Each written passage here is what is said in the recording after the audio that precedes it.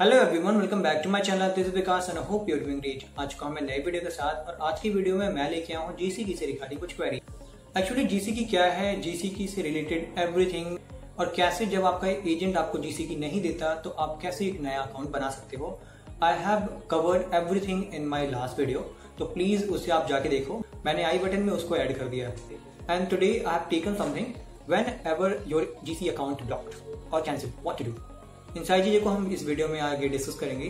Video को शुरू करने से पहले please one thing if you haven't subscribe my channel तो एक सेकंड लगता है। Please pause my video and hit the subscribe button you can even think whenever I get one subscriber what that mean to me I really feel over the moon so let begin with the video कल की video and आज की video is almost equal और इन दोनों में क्या similarities हैं और why I have taken this another video आखिर ये दोनों अगर सिमिलर हैं तो मुझे इस वीडियो की लाने की क्यों ज़रूरत पड़ी? आई टेल यू एवरीथिंग देखिए, जब हमने कल वो अकाउंट बनाया था this was a new account आज हम क्या करेंगे, जब आपका बनाया हुआ खुद का न्यू अकाउंट ब्लॉक हो जाता है तो वो कैसे ब्लॉक होता है?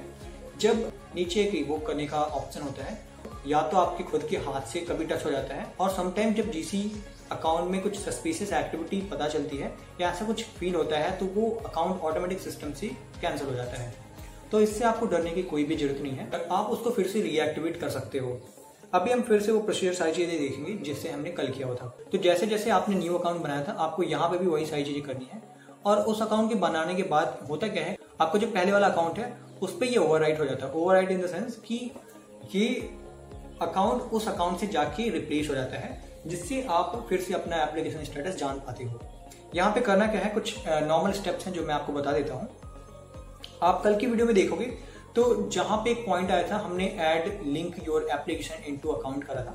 उसके बाद से नीचे ऑप्शन आता है कि आपको चूज़ करना होता है कैटेगरी कैटेगरी में आपने अगर if you are student you will go for temporary residence फिर आपको चूज़ करना होता है सब कैटेगरी सब कैटेगरी में आप चूज़ करते हो स्टडी परमिट एंड एक्सटेंशन इसको चूज़ करने के बाद आपके सामने ऑप्शन आता है एप्लीकेशन डिटेल यहाँ पे भी आपको तीन चार ऑप्शन मिलते हैं।